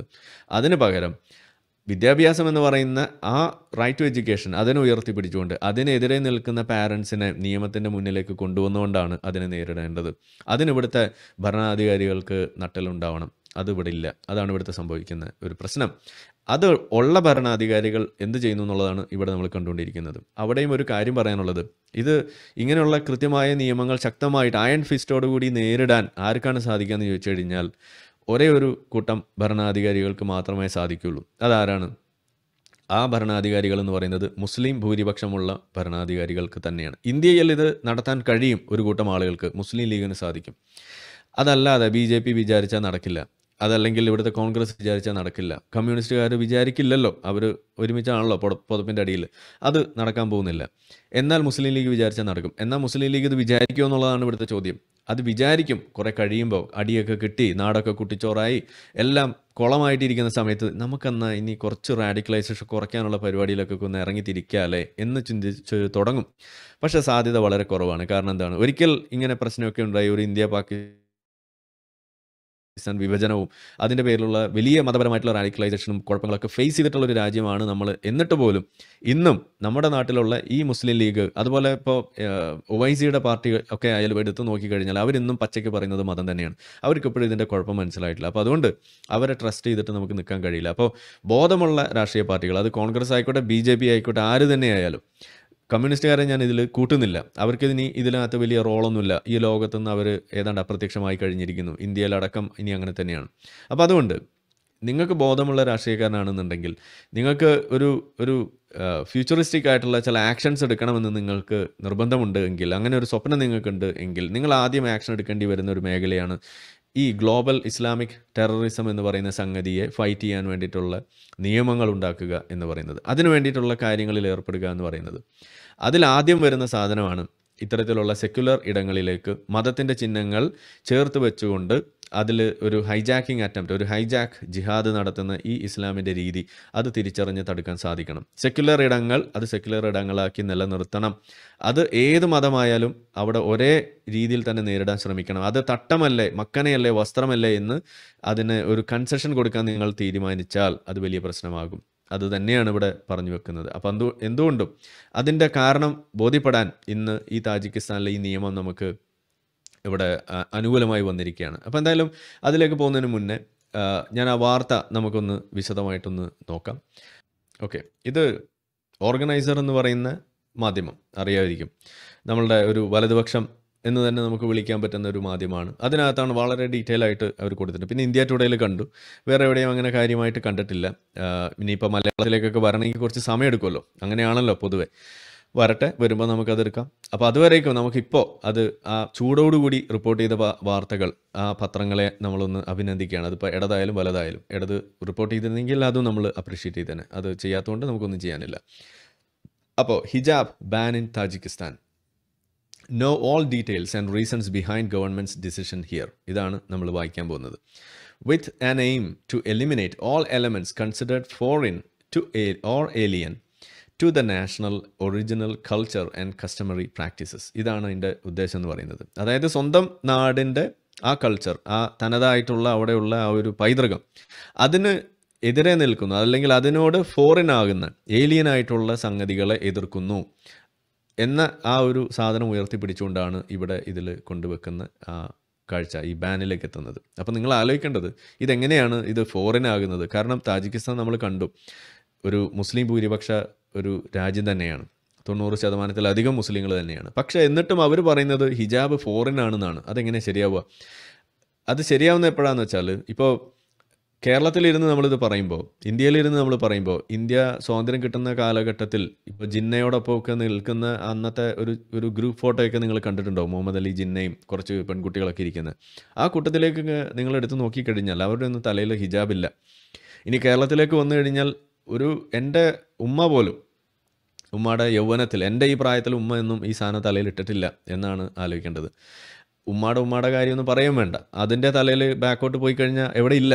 അത് ആരാണ് ഹിന്ദു ആരാണ് ക്രിസ്ത്യൻ ആരാണ് മുസ്ലിം എന്ന് തിരിച്ചറിയാൻ പറ്റാത്ത അവസ്ഥയിലായിരുന്നു അവരൊക്കെ ജീവിച്ചിരുന്നത്. കാരണം നമ്മുടെ നാടിനൊരു വേഷമുണ്ട്. ആ വേഷത്തെ സ്വാധീനിക്കുന്നത് ഇവിടുത്തെ കൾച്ചറാണ് അത് ഇവിടുത്തെ ജിയോഗ്രഫിക്കൽ അതുപോലെ ഇവിടുത്തെ ക്ലൈമാറ്റിക് ആയിട്ടുള്ള അത്തരത്തിലുള്ള സിറ്റുവേഷൻസ് ആണ് അതൊക്കെ നിശ്ചയിക്കുന്നത്. എന്നാൽ അതെല്ലാം കവച്ചു വെച്ചുകൊണ്ട് നിങ്ങളിനി ഏത് കൊടും തണുപ്പിൽ ജീവിക്കുന്ന ആളായാലും ശരി കൊടും ചൂടിൽ ജീവിക്കുന്ന ആളായാലും ശരി ഈ പറതയിട്ട് നടക്കുക എന്ന് പറയുന്ന രീതിയിലേക്ക് കാര്യങ്ങൾ കൊണ്ടെത്തിക്കുന്നു. അവിടെയാണ് ഞാൻ എപ്പോഴും മനസ്സുകൊണ്ട് സന്തോഷിച്ചു പോയത്. മുഹമ്മദ് നബി- ജീവിച്ചത് അത് മക്കയിലായത് എത്ര നന്നായി. അതുകൊണ്ടാണല്ലോ നമ്മൾ ഇതിട്ട് ജീവി ഇങ്ങനെ നടക്കേണ്ടി വരുന്നത് പർദ്ദ. എങ്ങാനും വല്ല നോർവേയിലോ അല്ലെങ്കിൽ വല്ല അന്റാർട്ടിക്കയിലോ ഒക്കെ ആയിരുന്നു മുഹമ്മദ് നബി എന്നുണ്ടെങ്കിൽ നമ്മുടെ മക്കയിലും മദീനയിലും ഇനി ഈവൻ നമ്മളെ കേരളത്തിലുള്ള കാക്കാമാരടക്കം ഈ റോമക്കുപ്പായ വിട്ട് നടക്കേണ്ടി വന്നേനെ. അതാണ് ഇവിടെ സംഭവിക്കുക. കാരണം രോമക്കുപ്പായം ഇട്ട് നടക്കൽ ഇതുപോലെ അൽ മനാസി എന്ന് പറഞ്ഞ സ്ഥലത്തേക്ക് അപ്പിയിടാൻ പോയപ്പോൾ ഉമർ ഒളിഞ്ഞു നോക്കിയപ്പോൾ അവിടെ ഹിജാബിന്റെ ആയത്തിടാൻ വേണ്ടി പറയുമ്പോൾ നിങ്ങളുടെ രോമക്കുപ്പായം നിങ്ങൾ നിങ്ങളുടെ മാറിന് നേരെ താഴ്ത്തിയിടുക എന്നൊരായത്ത് അങ്ങനെ ഇറക്കിയാലുള്ള അവസ്ഥ ഒന്ന് ആലോചിച്ച് നോക്കിയേ. ഇതാണ് ഉണ്ടാവുക. ഇതാണ് ഇവിടെ സംഭവിക്കുന്നത്. ഇപ്പം തന്നെ മുഹമ്മദ് നബി തൊപ്പി വെച്ചെന്ന് പറഞ്ഞാണ് ഇവിടെ തൊപ്പി വെക്കുന്നത്. എന്തോ ഭാഗ്യത്തിന്റെ മുഹമ്മദ് നബി ഒട്ടകത്തിന്റെ മുകളിൽ പോയി എന്ന് പറഞ്ഞിട്ട് ഇവിടെ ആരും ഒട്ടകത്തിന് മുകളിൽ പോകുന്നില്ല. ഒട്ടകത്തിന് മൂത്രം കുടിക്കുന്നുണ്ട് എന്നുള്ളത് വേറെ കാര്യം. പോട്ടെ. അപ്പോൾ ഇത് ആലോചിക്കേണ്ടത് ഈ ഒരു ഒരു സ്വന്തം കൾച്ചർ അവിടെയുള്ള തനതായ രീതികളെ അതിനെ കവച്ചു വെക്കുന്നു. അതിനെ ഓവർകം ചെയ്തുകൊണ്ടാണ് ഇതുപോലുള്ള സാധനങ്ങൾ വരുന്നതെന്ന് പറയുന്നിടത്താണ് ഇതിന്റെ പ്രശ്നം കിടക്കുന്നത്. ഇനി ഇതിലെ തമാശകൾ വേറെയുണ്ട്. The legislature of the Central Asian nation of Tajikistan have approved the bill which strictly bans the bearing of the hijab Islamic clothing for women and shaving the uh, beards of all men in the country, even during religious occasions such as Eid ul Fitr and Bakrid. ഈ താടി വടിക്കുന്ന സംഭവം അത് ഇപ്പോഴല്ല ഇത് ഇതിന് മുന്നേ ഉണ്ടായിട്ടുണ്ട്. പക്ഷേ അതിനെക്കുറിച്ച് ഇതിനകത്ത് പരാമർശം ഉണ്ടെന്നാണ് പറയുന്നത് കൂടാതെ കുട്ടികളെ ഇതിനകത്ത് പങ്കെടുപ്പിക്കുന്നത് സംബന്ധിച്ചിട്ട്. ഇതിനകത്ത് ചെറിയ മിസ്റ്റേക്ക് എനിക്ക് കാണുന്ന അതാണ് വേറെ വാർത്തയിൽ നോക്കിയപ്പോൾ ഈദ് ഉൽ ഫിത്തർ അതുപോലെ ബക്രീദ് നമ്മുടെ ചെറിയ പെരുന്നാളും വലിയ പെരുന്നാളും. ആ രണ്ട് പെരുന്നാളിന്റെ സമയത്തും അവിടെ കുട്ടികളെ പങ്കെടുപ്പിക്കുന്ന അത് അതിനും വലിയൊരു വിലക്കാണ് അവിടെ കൊണ്ടുവന്നിരിക്കുന്നത്. ഇത് upper house of the Tajikistan parliament called the Majlisi Milli and approved a draft bill on June nineteenth 2024, formally banning the hijab for Muslim women in the country. Radio Liberty Europe reported the major update saying that Imam Ali Rahman led Tajik government passed the bill which uh, bans alien garments as well as the celebration by the children during the two major Islamic uh, Eid Eid al-Fitr and Eid al-Adha or Bakrid. ഈ രണ്ട് സാധനത്തിനും അവിടെ വിലക്ക് കൊണ്ടുവന്നിരിക്കുകയാണ്. The bill was passed in the lower house of the Tajik parliament earlier in June nine twenty twenty four it will ban the bearing importing selling and advertising of clothes alien to Tajik culture a term widely used by the officials in the country to describe Islamic clothing അപ്പോൾ ഇവിടെ നമ്മൾ ആലോചിക്കേണ്ടത് തൊണ്ണൂറ് ശതമാനത്തിലധികം മുസ്ലിങ്ങളുള്ള Tajikistan ഇങ്ങനൊരു നിയമം എടുക്കുന്നു അവർ ഉയർത്തിപ്പിടിക്കുന്നത് അവരുടെ കൾച്ചർ അതുപോലെയുള്ള സാധനങ്ങളൊക്കെയാണ് എന്ന് വരുമ്പോൾ. ഈ സംഗതികൾ ഉയർത്തിപ്പിടിക്കുന്ന ആളുകളെ നമ്മൾ സാധാരണ എന്താ പറയാറുള്ളത്? കൾച്ചറിനെ കൂടുതൽ പൊക്കി പിടിക്കുക എല്ലാം പൈതൃകം അത് പിന്നോട്ട് പിന്നോട്ട് പോകുക എന്നൊക്കെ പറയുന്നത് എപ്പോഴും വലതുപക്ഷം എന്നാണ് നമ്മൾ പറയാറുള്ളത്. അങ്ങനെ നോക്കുകയാണെന്നുണ്ടെങ്കിൽ താജിക്കിസ്ഥാൻ വലതുപക്ഷം വൽക്കരിക്കപ്പെട്ടു എന്ന് പറയുന്നത് തന്നെയാണ് ഇവിടുത്തെ ശരി. ഇതാണ് നമ്മളിവിടെ കണ്ടത്. എന്ന് വെച്ചാൽ ഇപ്പോൾ നമ്മൾ കഴിഞ്ഞ ദിവസം നമ്മൾ പറഞ്ഞു യൂറോപ്യൻ പാർലമെന്റിൽ നടന്ന ഇലക്ഷനെ കുറിച്ചും അതുപോലെ ഇപ്പോൾ ഫ്രാൻസിലും മറ്റ് ഇറ്റലി ജർമ്മനി യു കെ ഇവിടെയൊക്കെ നടക്കുന്ന കാര്യങ്ങളെക്കുറിച്ച് നമ്മൾ പറഞ്ഞു. ഇനിയിപ്പോൾ യു എസിൽ ട്രംപ് വരുന്നതിനെ കുറിച്ച് പറയുന്നത് എല്ലായിടത്തും സംഭവിക്കുന്നത് ഒരു വലതുപക്ഷവൽക്കരണമാണ്. എഗെയിൻസ്റ്റ് ഇസ്ലാം എന്നതാണ് അതിന്റെ ഒരു കാരണമായിട്ട് എല്ലാവരും പറഞ്ഞു വെക്കുന്നത്. അപ്പോൾ ഇസ്ലാം ഉണ്ടാക്കുന്ന പ്രശ്നങ്ങൾ അത് അതാത് നാടുകളെടുത്ത് അതിനു വേണ്ടി ഇറങ്ങിത്തിരിക്കുമ്പോൾ ആ രാജ്യങ്ങളൊക്കെ വലതുപക്ഷം എന്നാണ് പറയുക ഇപ്പോൾ ഇന്ത്യയിലേക്ക് വരുമ്പോൾ ഇവിടെ ബി ജെ പി ഗവൺമെന്റ് പല കാര്യങ്ങളും ചെയ്യുന്നു. അത് പച്ചയായിട്ട് ഇങ്ങനെ ചെയ്യാൻ അവർക്ക് പലപ്പോഴും ബുദ്ധിമുട്ടുണ്ട്. കാരണം എന്താണ്? ഇവിടെ ഒരു വലിയ ഭൂരിപക്ഷം തന്നെയാണ് ഇവിടുത്തെ മുസ്ലിങ്ങൾ എന്ന് പറയുന്നത്. സാധാരണ പറയുന്ന പോലെ ഒരു മൈനോറിറ്റി എന്നൊന്നും പറയാൻ കഴിയും. Second largest group of religion തന്നെയാണ് ഇന്ത്യയിൽ ഇസ്ലാം അല്ലെങ്കിൽ മുസ്ലിങ്ങൾ എന്ന് പറയുന്നത്. അപ്പോൾ അവിടെ നമുക്കൊരിക്കലും ഇത് മൈനോറിറ്റി ആണെന്ന് പറയാൻ കഴിയില്ല. Close to twenty seven percent twenty four percent എന്നൊക്കെ നമ്മൾ പറയുന്നു. ഇപ്പോൾ കേരളത്തിലേക്ക് വരുമ്പോൾ ട്വന്റി എയ്റ്റ് പെർസെന്റേജ് ഒക്കെയാണ്. ചില സംസ്ഥാനങ്ങളിൽ ഹിന്ദുക്കളെക്കാൾ കൂടുതൽ മുസ്ലിങ്ങളാണ് ഉള്ളത്. അങ്ങനെ നോക്കുമ്പോൾ ഒരു വലിയൊരു ഡിസ്ട്രിബ്യൂഷൻ ഉണ്ട്. ഇനി ഒരു പത്തോ അമ്പതോ വർഷം കഴിഞ്ഞ് കഴിയുമ്പോൾ ഒരു മേ ബി ഒരു അമ്പത് വർഷത്തിന് ശേഷം നമ്മൾ എടുത്തു നോക്കുകയാണെന്നുണ്ടെങ്കിൽ മുസ്ലിംസും ഹിന്ദുസും ഓൾമോസ്റ്റ് ഈക്വൽ ആയിരിക്കും ഇവിടുത്തെ പോപ്പുലേഷൻ അങ്ങനെയൊക്കെ വരുന്ന സമയത്ത് എന്തായിരിക്കും ഇവിടെ സംഭവിക്കുക എന്ന് നിങ്ങളൊന്ന് ആലോചിക്കാം. അപ്പോൾ നമ്മളുടെ ലക്ഷ്യമെന്ന് പറയുന്നത് എന്തായാലും പെറ്റുകൂട്ടുന്ന ആളുകൾ പെറ്റുകൂട്ടും. അത് നമുക്ക് തടുക്കാൻ കഴിയില്ല. അത് മുകളിലേക്ക് തന്നെയാണ് പോയിക്കൊണ്ടിരിക്കുന്നത്. ഡെമോഗ്രാഫിക്സ് അങ്ങനെ തന്നെയാണ് കാണിക്കുന്നത്. മുസ്ലിങ്ങളുടെ എണ്ണം കൂടിക്കൊണ്ടിരിക്കുകയാണ്. ബർത്ത് റേറ്റ് അവരുടെ ഇടയിൽ കൂടുതലാണ്. ടോട്ടൽ ഫെർട്ടിലിറ്റി റേറ്റ് ഒക്കെ കുറവുണ്ട് എന്നുണ്ടെങ്കിൽ മുസ്ലിങ്ങളുടെ ഇടയിലുള്ള ആ ക്രൂഡ് ബർത്ത് റേറ്റ് എന്ന് പറയുന്നത് കൂടുതലായതുകൊണ്ട് പെർ കപ്പിൾ ഉണ്ടാകുന്ന നമ്പർ ഓഫ് ചിൽഡ്രൻ അത് കൂടുതലായതുകൊണ്ടും അതോടൊപ്പം തന്നെ മുസ്ലിങ്ങളായിട്ടുള്ള ആളുകളുടെ ആ ഏജ് ആ റിപ്രൊഡക്റ്റീവ് ഏജ് എന്ന് പറയുന്നത് വളരെ യങ് ആയിട്ടുള്ളതും ആയതുകൊണ്ട് സ്വാഭാവികമായിട്ടും ഇതിന്റെ ഗ്രോത്ത് അത് എക്സ്പെനൻഷ്യൽ ആണ്.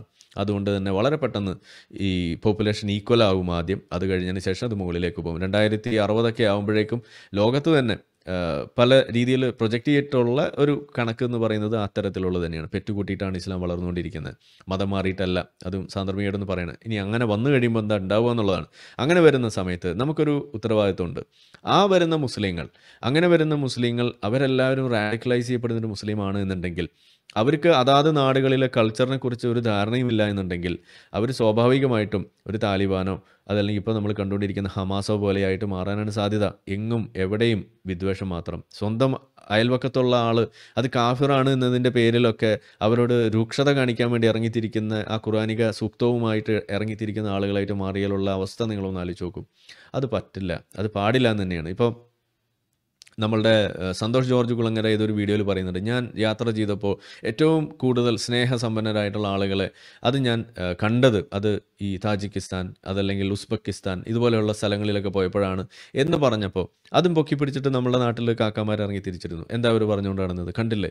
നിങ്ങൾ കാണാത്ത നന്മ സന്തോഷ് ജോർജ് കുളങ്ങര കണ്ടു എന്ന് പറഞ്ഞിട്ട് സന്തോഷ് ജോർജ് കുളങ്ങരെ അങ്ങ് ആകാശത്തേക്ക് കൊണ്ടുപോയി. കുറച്ച് കഴിഞ്ഞപ്പോൾ മൂപ്പര് പറഞ്ഞു ഭൂമിയിൽ ഒരു പ്രശ്നം നടക്കുമ്പോൾ അതിനകത്തൊന്നും ഇടപെടാത്ത ഈ പടച്ചോൻ സ്വർഗത്തിൽ പോയിട്ട് എന്ത് വാഴക്ക ചെയ്യാനാണ് പോകുന്നത്? എന്ന് ചോദിച്ചോടുകൂടി ആ സന്തോഷ് ജോർജ് കുളങ്ങനെ ദേഹ കിടക്കുന്നു താഴെ എന്ന് പറഞ്ഞ് താഴേക്ക് അങ്ങോട്ട് ഇട്ടു. ഇതാണ് ഉണ്ടായത്. അപ്പോൾ ഇവർക്ക് ആവശ്യമുള്ളപ്പോൾ പൊക്കാനും ആവശ്യം ഇല്ലാത്തപ്പോൾ താഴെ ഇട്ട് കുഴിച്ചു മൂടാനും സാധിക്കും എന്നുള്ളത് അവിടെ തന്നെ വ്യക്തമാണ്. അപ്പോൾ നമ്മൾ ഉയർത്തിപ്പിടിക്കേണ്ട എന്താണ്? ഒരു റാഡിക്കലൈസേഷൻ എന്ന് പറയുന്ന സംഗതിക്കെതിരെയുള്ളൊരു നിലനിൽപ്പ് അത് നമ്മൾ ഇവിടെ അതൊരു ഒരു കോൺസ്റ്റന്റ് ഫൈറ്റാണ് അത് ഒരു തവണ ചെയ്തിട്ട് നമുക്ക് കൈയും കെട്ടി നോക്കിയിരിക്കാൻ പറ്റുന്ന സംഗതിയല്ല എന്നാണ് ഈ പറഞ്ഞു വെക്കുന്നത്. പ്രത്യേകിച്ച് ഇസ്ലാമാണ് അവിടെ എതിർവശത്ത് നിൽക്കുന്നതെന്ന് വരുമ്പോൾ അതിനെതിരെയുള്ള ഫൈറ്റ് എന്ന് പറയുന്നത് അത് റെലൻലെസ് അത് എന്താ പറയുക കണ്ടിന്യൂസ് ആയിട്ട് ചെയ്യേണ്ടി വരുന്നു എന്നും കൂടി വരുന്നിടത്താണ് ഇത് ആളുകൾക്ക് രാഷ്ട്രീയം കൊണ്ടു നടക്കുന്ന ആളുകൾക്ക് രാഷ്ട്രങ്ങൾക്ക് ഉറക്കമില്ലാത്ത ദിനങ്ങളാണ് ഇനി സമ്മാനിക്കാൻ പോകുന്നത് എന്ന് പറയുന്നത്. ഇത് കൺട്രോൾ ചെയ്യുന്നത് വരേക്കും ഒരു നെക്സ്റ്റ് ഒരു ഫിഫ്റ്റി ഇയേഴ്സ് ഇതിന്റെ പിന്നാലെ നടക്കേണ്ടി വരും. അപ്പം നമ്മളിത് പറഞ്ഞൊക്കെ തുടങ്ങിയ സമയത്ത് നമ്മൾ ധരിച്ചിരുന്നത് ലോകത്ത് ഇതുപോലെയുള്ളൊരു ഒരു വിഷയം അത് അവിടെയൊക്കെ നടക്കുന്നു അതിനെതിരെയുള്ള കാര്യങ്ങളൊക്കെ ഉണ്ട് എന്നൊക്കെ നമ്മൾ മനസ്സിലൊരു ധാരണയുണ്ട്. എക്സ് മുസ്ലിം മൂവ്മെന്റ് ഉണ്ട് എന്നൊക്കെ നമ്മൾ പറയുന്നു. അതുകൂടാതെ ഇന്ത്യയിലാണെങ്കിൽ പല കാര്യങ്ങളും നമ്മൾ കാണുന്നു. അപ്പോൾ നമ്മൾ ഉദ്ദേശിച്ചത് എന്താണ്? ആ ഒരു അഞ്ചോ പത്തോ വർഷത്തിന്റെ ഉള്ളിൽ ഒരു വലിയ മാറ്റം ഉണ്ടാകും എന്ന് നമ്മൾ പ്രതീക്ഷിച്ചു. ശരിയാണ്. ആളുകൾക്കിടയിൽ മുസ്ലിങ്ങൾക്കിടയിൽ വലിയ തോതിലുള്ള ഇമ്പാക്റ്റ് ഉണ്ടാക്കാൻ സാധിച്ചിട്ടുണ്ട്. അതിന് പത്തോ പതിനഞ്ചോ വർഷത്തിന്റെ ആവശ്യം ഇനിയില്ല. പക്ഷേ ഈ പൊളിറ്റിക്കൽ ലാൻഡ്സ്കേപ്പിൽ ഇതുപോലെയുള്ള മേഖലകളിൽ പ്ര- പ്രത്യേകിച്ച് ഡെമോഗ്രാഫിക്സ് ഇതുപോലെ മുന്നോട്ട് പോകുന്ന ഘട്ടത്തിൽ അവിടെ പൊളിറ്റിക്കലി ഉണ്ടാക്കാൻ പോകുന്ന ഡാമേജ് അത് കുറയ്ക്കണം എന്നുണ്ടെങ്കിൽ അത് ചിലർ സമയമല്ല വേണ്ടത്. ചില്ലറ കളിയുമല്ല വേണ്ടത്. അത് വലിയ ഒരു ഒരു ഒരു ലോങ് എക്സ്റ്റെൻഡഡ് ആയിട്ടുള്ള ഒരു എഫേർട്ട് അതിന് വേണ്ടി വരുന്നതാണ് നമുക്ക് മനസ്സിലാവുന്നത്. അതൊരു ഒരു നെക്സ്റ്റ് ഒരു തേർട്ടി ടു ഫിഫ്റ്റി ഇയേഴ്സ് വേണ്ടി വരും. എന്ന് പറഞ്ഞാൽ അത് നിരന്തരം നമ്മൾ ഇന്നു മുതൽ ചെയ്തുകൊണ്ടിരുന്നാലാണ് ഈ പറയുന്നത്. ഇപ്പോഴെങ്കിലും അത് തുടങ്ങി എന്നത് കൊണ്ടും അതോടൊപ്പം ഇതിന് ഹെൽപ്ഫുൾ ആയിട്ട് സോഷ്യൽ മീഡിയ പോലെയുള്ള സംഗതികളായതുകൊണ്ടും ഒരു വാർത്ത പോലും പൂഴ്ത്തി വെക്കാൻ പറ്റുന്നില്ല എന്നൊരവസ്ഥയും ഉള്ളതുകൊണ്ട് കുറച്ചും കൂടി എളുപ്പമാണ് കാര്യങ്ങൾ. ഇല്ലാന്നുണ്ടെങ്കിൽ ഇപ്പോൾ ഇതൊന്നും ആരും അറിയില്ല. അറിയാത്ത എന്തുകൊണ്ട്? അതിന് ഉദാഹരണമായിട്ട് ചില വാർത്തകൾ നമുക്കിവിടെ കാണാം. ഇപ്പോൾ ഒരു വാർത്തയാണ്. ഓക്കെ ഇത് രണ്ടായിരത്തി പതിനാറിൽ വന്ന വാർത്തയാണ്. Tajikistan's battle against beards to fight radicalisation ഇത് ആരെങ്കിലും അറിഞ്ഞിട്ടുണ്ടോ? ഇത് രണ്ടായിരത്തി പതിനാറിൽ വന്നതാണ്. നമ്മുടെ നാട്ടിലാരും ഇത് റിപ്പോർട്ട് ചെയ്തിട്ടൊന്നുമില്ല. ഇത് ഒരു വലിയ സംഭവമായിട്ട് പറഞ്ഞിട്ടില്ല അപ്പോൾ നമ്മൾ ആലോചിക്കേണ്ടത് ഒരു റാഡിക്കലൈസേഷൻ എന്ന് പറയുന്ന ഒരു വിഷയത്തെ ഫൈറ്റ് ചെയ്യുന്നതിന് വേണ്ടിയിട്ട് താടി വടിക്കേണ്ടി വരുന്ന ഒരു അവസ്ഥയെക്കുറിച്ചൊന്ന് ആലോചിച്ച് നോക്കൂ. അതായത് ഇത് വേഷം പോലുമല്ല ഇത് അവരുടെ ഒരു സ്റ്റൈലിംഗ് ആണ്. ഇപ്പോൾ താടി വെക്കുക മീശ വെക്കുക എന്നൊക്കെ പറയുന്നത് ഓരോ ആളുകൾ കൊണ്ട് നടക്കുന്ന സ്റ്റൈലിങ്ങിന്റെ ഭാഗമാണ് അവരുടെ ഒരു പേഴ്സണൽ ഒരു ഒരു രീതി. അതിനെ പോലും ഇതുപോലെ മതം ബാധിക്കുന്നു. മീശ വടിച്ചിട്ട് താടി വെക്കുക എന്ന് പറയുന്നത് ഇസ്ലാമിൽ സുന്നത്തായ കാര്യമാണ്. കാരണം ജൂതന്മാരും ക്രിസ്ത്യാനികളും താടി പഠിച്ചിട്ട് മീശ വെക്കുന്നു. അങ്ങനെയാണെങ്കിൽ നിങ്ങൾ മീശ പഠിച്ചിട്ട് താടി വെച്ചോന്ന് നമ്മളെ പ്രവാചകനൊന്ന് പറഞ്ഞു പോയി. അതിന്റെ പൊല്ലാപ്പാണ് കാണുന്നത്. അപ്പോൾ ഇവിടെ താജിക്കിസ്ഥാനിൽ നടന്ന കാര്യമാണ് ഈ പറയുന്നത്. ഇത് ഇന്നും ഇന്നലെ തുടങ്ങിയതല്ല എന്ന് പറയാൻ വേണ്ടിയിട്ടാണ്. ഇവർ ഈ പ്രശ്നം തിരിച്ചറിഞ്ഞിട്ട് വർഷങ്ങളായി. ഇന്ന് ഇവർക്കിപ്പോൾ സൗദി അറേബ്യയിൽ ഈ ഹിജാബിന് സംബന്ധിച്ചിട്ടുള്ള നിയമങ്ങൾ അവിടെ എടുത്തു മാറ്റുന്നു. അതുപോലെ ഇപ്പോൾ മഹറം നിയമങ്ങൾ അവിടെ ഡയല്യൂട്ട് ചെയ്യുന്നു. ഇതെല്ലാം നമ്മൾ കണ്ടു. അതോടൊപ്പം അവർ ചെയ്തുകൊണ്ടിരിക്കുന്ന കാര്യമാണ് ഈ പറയുന്ന സാധനം. അതായത് ഹിജാബ് മറ്റ് സ്ഥലങ്ങളിൽ ഇതുപോലെ ബാൻ ചെയ്യപ്പെടുന്ന കാഴ്ച അതുപോലെ താടി പോലും വടിക്കേണ്ടി വരുന്ന കാഴ്ച ഇതെല്ലാം നമ്മളിവിടെ കാണുകയാണ്. അപ്പോൾ അതിന്റെ കാരണം എന്താണ്? ഇതിലൊരു സെന്റൻസ് നിങ്ങൾക്ക് വായിക്കാം. ഇത് രണ്ടായിരത്തി പതിനാറിൽ വന്നതാണ് കേട്ടോ. They call me a Salafist a radical a public enemy and then two of them held my arms while another one shaved half of my beard ഇതാണ് പറഞ്ഞത്. ഇതിപ്പോൾ ഇന്ത്യയിലാണ് സംഭവിച്ചതെന്നുണ്ടെങ്കിൽ എന്തായിരിക്കും അവസ്ഥ നിങ്ങൾ ആലോചിച്ച് നോക്കൂ. ഇത് താജിക്കിസ്ഥാനിലായതുകൊണ്ടും പോലീസുകാരൻ മുസ്ലിം ആയതുകൊണ്ടും അവിടുത്തെ ഭരണം മുസ്ലിങ്ങളായതുകൊണ്ടും ആർക്കും ഒരു കുഴപ്പമില്ല. ഇത് ഇവിടെ ഇന്ത്യയിൽ ഇത് കണ്ടിട്ട് ഇതുപോലെ ഒരു പരിപാടിക്ക് ഇറങ്ങി തിരിച്ചാൽ ഇവിടെ ഉടനെ ഇസ്ലാമോഫോബിയ എന്ന് പറഞ്ഞ് നിലവിളി. ഇവിടെ മുസ്ലിങ്ങളെ വേട്ടയാടുന്നു എന്ന് പറഞ്ഞിട്ട് നിലവിളി. അതായത് ഒരു ഭീകരവാദിയെ വേട്ടയാടിയാൽ പോലും അത് മുസ്ലിമിനെ വേട്ടയാടി എന്ന് പറഞ്ഞ് മാറ്റുന്നു. ഭീകരവാദത്തെ ചിത്രീകരിക്കുന്ന ഒരു സിനിമ എടുത്താൽ അത് മുസ്ലിങ്ങളെ അപരവൽക്കരിക്കുന്ന എന്ന് പറഞ്ഞിട്ട് നിലവിളിക്കുന്നു. ഇസ്ലാമിലെ മണ്ടത്തരങ്ങൾ ഇസ്ലാമിലെ ഇതുപോലുള്ള ഭീകരതയെ തുറന്നു കാണിക്കുന്നതിന് വേണ്ടിയിട്ട് ഒരു സിനിമ ഇറക്കിയാൽ അത് മുസ്ലിങ്ങളെ അപരവൽക്കരിക്കുന്നു മുസ്ലിങ്ങളെ അവഹേളിക്കുന്നു എന്ന് പറഞ്ഞിട്ട് ഇറങ്ങിത്തിരിക്കുന്നു. എന്നാൽ നിങ്ങൾക്ക് ഇതെല്ലാം ഹിന്ദു മതത്തിനെതിരെ ചെയ്യാൻ പറ്റുന്നുണ്ട്. ഇത് ക്രിസ്ത്യാനിറ്റിക്കെതിരെ ചെയ്യാൻ പറ്റുന്നുണ്ട്. ക്രിസ്ത്യാനിറ്റിയെ വിമർശിച്ചുകൊണ്ട് നിങ്ങളിവിടെ സിനിമ എടുത്തിട്ടുണ്ട്. ഹിന്ദു മതത്തെ വിമർശിച്ചിട്ട് നിങ്ങളിവിടെ സിനിമ എമ്പാടും എടുത്തിട്ടുണ്ട്. ഇപ്പോഴും എടുത്തുകൊണ്ടിരിക്കുന്നു. എന്നാൽ ഇവിടെ ഇസ്ലാമിനെ സംബന്ധിച്ച് ഒരു ചെറിയ പരാമർശം വന്നാൽ പോലും അത് താങ്ങാൻ കഴിയുന്നില്ല എന്ന് വരുന്നു. അവിടെയാണ് ഈ പ്രശ്നം. അതിന് ഇവർ എടുക്കുന്നത് ആ ബി ജെ പി ആണ് ഇപ്പോൾ എല്ലാത്തിനും പ്രശ്നം. എന്നാൽ ഇവിടെ കോൺഗ്രസ് ഉണ്ടായിരുന്നപ്പോൾ ഇത് വല്ലതും ചെയ്യുമോ അത് ചെയ്യുകയില്ല ഇതേപോലെയാണ് ഓരോ വിഷയങ്ങളും നിങ്ങൾക്ക് എടുത്ത് കഴിഞ്ഞാൽ കാണാൻ കഴിയുക. അപ്പോൾ അതുകൊണ്ട് ഇസ്ലാം ഇസ്ലാം മുന്നോട്ട് വെക്കുന്ന ഭീകരത ആ ഒരു ഒരു കൾച്ചറൽ ഇൻവേഷൻ അത് ഏറ്റവും സുഗമമായിട്ട് നടക്കുക എവിടെയാണെന്ന് ചോദിച്ചു കഴിഞ്ഞാൽ അത് ഇതുപോലെയുള്ള സെക്യുലർ ഡെമോക്രസികളിലാണ് അതുകൊണ്ട് സെക്യുലർ ഡെമോക്രസി കൊണ്ടു നടക്കുന്ന രാജ്യങ്ങൾ ഇന്ത്യ പോലെയുള്ള രാജ്യം ഇപ്പോൾ യൂറോപ്യൻ രാജ്യങ്ങൾ പലതും എല്ലാം എങ്ങനെയാണോ കാര്യങ്ങൾ തിരിച്ചറിഞ്ഞ് മുന്നോട്ട് വന്നത് കണ്ണും മൂക്കും നോക്കാതെ അത് നിയമം ശക്തമായിട്ട് കൊണ്ടുവന്ന് നടപ്പിലാക്കിയില്ല എന്നുണ്ടെങ്കിൽ നിങ്ങൾ ഈ പറയുന്ന ഇസ്ലാമിക തീവ്രവാദം ഈ റാഡിക്കലൈസിങ് അറ്റംപ്റ്റ്സ് അതല്ലെങ്കിൽ ഇത്തരത്തിലുള്ള ഒരു ടേക്ക് ഓവർ അതിന് നിങ്ങൾ സാക്ഷിയാകേണ്ടി വരും. നിങ്ങളുടെ രാജ്യം കുട്ടിച്ചോറാകും എന്ന് തന്നെയാണ് ഇവിടെ പറഞ്ഞു വെക്കാനുള്ളത്. അപ്പോൾ ഇവിടെ കാണുന്നതാണ്. ഞാൻ ഈ വാർത്ത കൂടുതൽ വായിക്കുന്നൊന്നുമില്ല. ഇത് നിങ്ങൾക്ക് ഓൺലൈനിൽ കണ്ടെത്തി വായിക്കാം. ഇതാണ് അതിന്റെ title Tajikistan's battle against beards to fight radicalisation എന്നാണ് ടൈറ്റിൽ കണ്ടെത്തി വായിക്കാമെന്നുള്ളൂ ഒറ്റ കാര്യമുള്ളൂ. ഇങ്ങനെ പിടിക്കുന്നു ആളെ പകുതി ഷേവ് ചെയ്ത് വിടുന്നു. Earlier this week in Tajikistan's Khatlon region said that they have shaved the beards of nearly thirteen thousand men as part of an anti radicalisation campaign ഇതാണ് അവിടെ നടക്കുന്നത്. കാണാൻ കഴിയുന്നുണ്ടെന്ന് വിചാരിക്കുന്നു. ഇതാണ് ആ വാർത്ത. പതിമൂവായിരം ആളുകളെയാണ് താടി പഠിച്ച് വിട്ടത്. എന്തിനു വേണ്ടിയിട്ടാണ്? ഇസ്ലാമിക തീവ്രവാദം അല്ലെങ്കിൽ ഈ റാഡിക്കലൈസിങ് ആ സാധനത്തിനെ നേരിടാൻ വേണ്ടിയിട്ട്. അപ്പോൾ shaving beards is part of a government campaign targeting trends that are deemed alien and inconsistent with Tajik culture അപ്പോൾ ചൈന എന്താണ് ചെയ്യുന്നത്? അവരുടെ കൾച്ചർ ആ ചൈനീസ് കൾച്ചറിന് എതിര് നിൽക്കുന്നു എന്ന് തോന്നാവുന്ന സാധനം അത് അവരൊരു അഭ്യന്തര ഭീഷണിയായിട്ട് കണ്ടെത്തി അതിനെതിരെ തിരിയുന്നു. താജിക്കിസ്ഥാൻ ഒരു മുസ്ലിം രാജ്യമായിരിക്കെ ഒരു മുസ്ലിം ഭൂരിപക്ഷ രാജ്യമായിരിക്കെ അവിടുത്തെ സർക്കാർ അവിടെ നടക്കുന്ന ഇത്തരം കാര്യങ്ങൾ അത് ചൈനീസ് അല്ലെങ്കിൽ താജിക് കൾച്ചറിന് ഭീഷണിയാണ് ആഭ്യന്തര ഭീഷണിയാണ് എന്ന് കണ്ടിട്ട് അതിനെതിരെ നിയമങ്ങൾ ഉണ്ടാക്കി മുന്നോട്ട് വരുന്നു. ഞാനിവിടെ പറയുകയാണ് അത്തരത്തിലുള്ള നിയമം ഉണ്ടാക്കാൻ ആ സംഗതികൾ മുൻകൂട്ടി കണ്ട് നിയമം ഉണ്ടാക്കാനുള്ള എല്ലാ അവകാശവും ഇവിടെ ഭരിക്കുന്ന ഇന്ത്യയിലുള്ള ഗവൺമെന്റുകൾക്കുണ്ട്. അത് ഏത് ഗവൺമെന്റ് ആയാലും അത് ആര് ചെയ്താലും അതിനോടൊപ്പം നിൽക്കാനേ നമുക്ക് സാധിക്കുള്ളൂ. എനിക്കതിനെ സാധിക്കുള്ളൂ.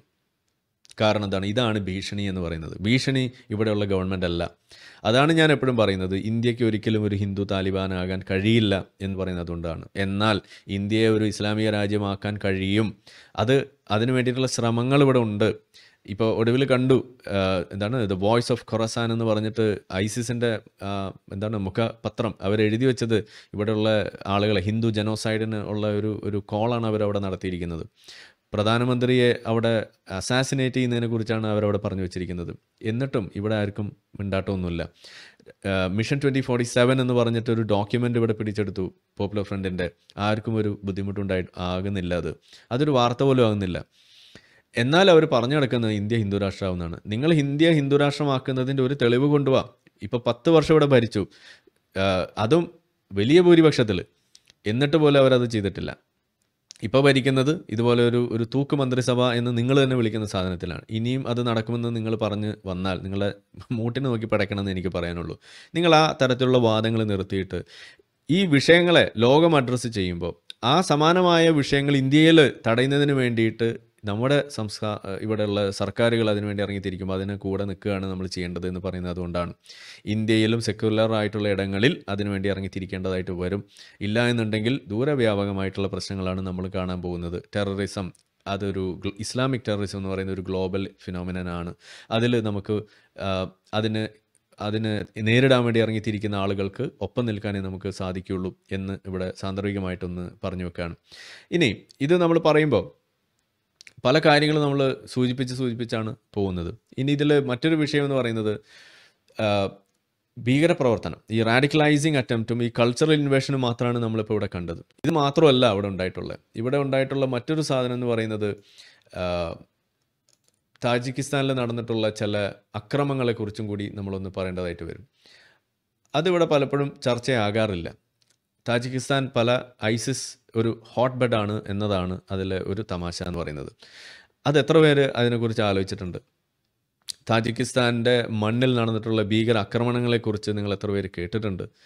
അവിടെയാണ് എന്തുകൊണ്ട് താജിക്കിസ്ഥാൻ ഇതിനൊരു ത്രട്ടായിട്ട് കാണുന്നു എന്നുള്ളത് നമ്മൾ കാണേണ്ടത്. ഇത് രണ്ടായിരത്തി പതിനെട്ടിൽ വന്ന വാർത്തയാണ്. താജിക്കിസ്ഥാനിൽ ഒരു നാല് സൈക്ലിസ്റ്റുകൾ താജിക്കിസ്ഥാൻ ഒരു ടൊപ്പോഗ്രാഫിക്കലി അത് വളരെ ബ്യൂട്ടിഫുൾ ആയിട്ടുള്ള ഒരു സ്ഥലമാണെന്ന് നമ്മൾ പറഞ്ഞു. അവിടുത്തെ ജോഗ്രഫി ഒരു ലാൻഡ് ലോക്ഡ് കൺട്രി ആയതുകൊണ്ട് തന്നെ സീനിക് ബ്യൂട്ടി ഭയങ്കരമായിട്ടുള്ള ഒരു സ്ഥലമാണ്. നമ്മുടെ നാട്ടുകാരൊക്കെ ഒരുപാട് പേര് ടൂറിസ്റ്റ് വിസയിൽ പോകുന്നുണ്ട്. പിന്നെ പലരും കോഴ്സസ് ഒക്കെ ചെയ്യാൻ വേണ്ടിയിട്ട് പോകുന്ന സ്ഥലമാണ്. അപ്പോൾ അറിയാമായിരിക്കും.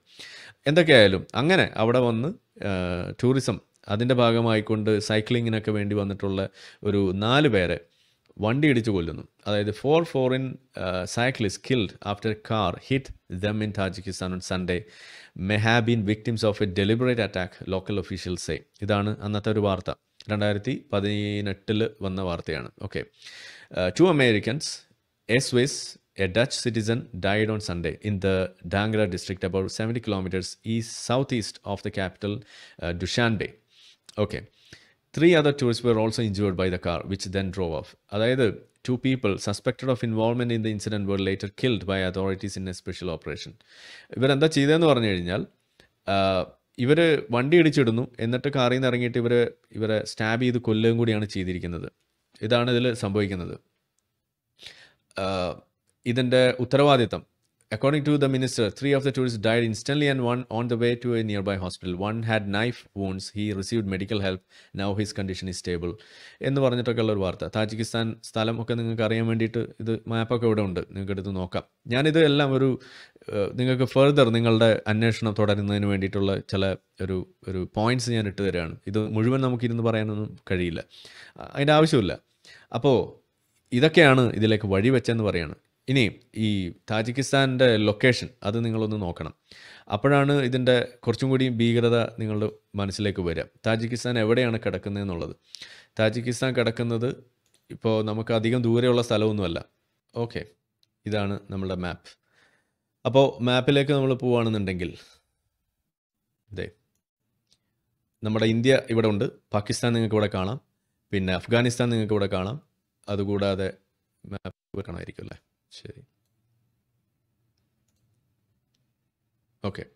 ഇന്ത്യ കാണാം പാകിസ്ഥാൻ കാണാം അഫ്ഗാനിസ്ഥാൻ കാണാം ഇവിടെയാണ് താജിക്കിസ്ഥാൻ വരുന്നത്. താജിക്കിസ്ഥാന്റെ അടുത്ത് ഇവിടെ കിർഗിസ്ഥാൻ കാണാം ഇവിടെ ഉസ്ബെക്കിസ്ഥാൻ കാണാം അതുപോലെ ഉള്ള മറ്റ് സ്ഥലങ്ങൾ. ഇതിൽ അഫ്ഗാനിസ്ഥാൻ അതുപോലെ തന്നെ പാകിസ്ഥാൻ. ഈ രണ്ട് ഏരിയയും ഇതിനകത്ത് നൊട്ടോറിയസ് ആണ്. എന്തിനാണ്? അത് ഐസിസുമായി ബന്ധപ്പെട്ടിട്ടുള്ള ആക്ടിവിറ്റീസ് ഏറ്റവും കൂടുതൽ നടക്കുന്ന രണ്ട് സ്ഥലങ്ങളാണ് ഈ അഫ്ഗാനിസ്ഥാനിലെ ഈ ഖൊറാസൻ ഏരിയയും അതുപോലെ പാകിസ്ഥാന്റെ ഒക്കെ ഏരിയ. നിങ്ങൾക്ക് അറിയുന്ന കാര്യമാണ്. അതുകൊണ്ട് തന്നെ ഏറ്റവും കൂടുതൽ ആളുകൾ റാഡിക്കലൈസ് ചെയ്യപ്പെടുകയും അമേരിക്കയിലേക്ക് വരെ ഇതുപോലെ കൂടിയേറിയ അതായത് മൈഗ്രേറ്റ് ചെയ്തിട്ടുള്ള ആളുകളുടെ എണ്ണമൊക്കെ എടുത്ത് നോക്കുമ്പോൾ ഇല്ലീഗലായിട്ട് വന്നിട്ടുള്ള ആളുകളുടെ എണ്ണമൊക്കെ എടുത്ത് നോക്കുമ്പോൾ അതൊരു വലിയ നമ്പർ പലപ്പോഴും താജിക്കിസ്ഥാനിൽ നിന്നുള്ള ആളുകളായിട്ടാണ് ഐഡന്റിഫൈ ചെയ്യപ്പെട്ടിട്ടുള്ളത് അതായത് പല ടെററിസ്റ്റ് ഓപ്പറേഷൻസിലും പിടിക്കപ്പെടുന്ന ആളുകൾ പലർക്കും ഈ ഈ ഒരു മേഖലയുമായിട്ട് ബന്ധമുള്ളതായിട്ടൊക്കെ അറിയാൻ കഴിയുന്നു. അങ്ങനെ വരുമ്പോഴാണ് ഇതിന്റെ ഭീകരത നമ്മൾ മനസ്സിലേക്ക് വരണമെന്ന് പറയുന്നത്. അപ്പോൾ ഐസിസിന്റെ ഒരു ഒരു ഒരു തുടക്കം അല്ലെങ്കിൽ അവരുടെ ആ ഹോട്ട് ബെഡ് എന്ന് പറയുന്ന സ്ഥലം തന്നെയാണ് ഈ താജിക്കിസ്ഥാൻ ഈ ഏരിയ എന്ന് പറയുന്നത്.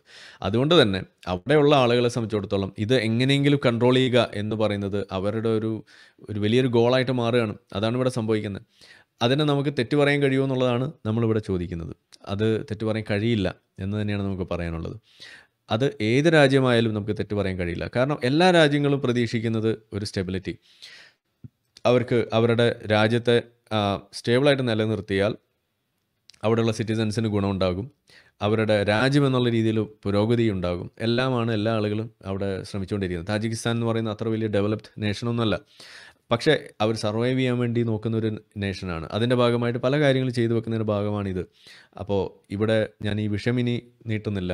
ഇത് ഒരു ബാൻ ഒരു ഹിജാബ് ബാൻ എന്ന് പറയുമ്പോൾ ഒരു വെറുതെയുള്ള ഏതെങ്കിലും മതത്തോടുള്ള ഒരു പക വീട്ടുന്ന സാധനമല്ല ഒന്നാമത്തത്. കാരണം ഇതൊരു ഇസ്ലാം ഭൂരിപക്ഷ പ്രദേശം തന്നെയാണ്. ഇവർ കൃത്യമായ കാരണങ്ങളുടെ പുറത്താണ് ഈ ബാൻ നടത്തിയിരിക്കുന്നത്. ഒന്ന് അവിടെയുള്ള കൾച്ചറൽ ഒരു ഇൻവേഷൻ ഈ ഹിജാബിന്റെ രൂപത്തിൽ ഇസ്ലാമിന്റേതായിട്ടുള്ള വേഷങ്ങളുടെ രൂപത്തിൽ അവിടെ വരുന്നു. അപ്പോൾ ഒരു കൾച്ചറൽ ആണ് അവിടുത്തെ ഒരു വിഷയം.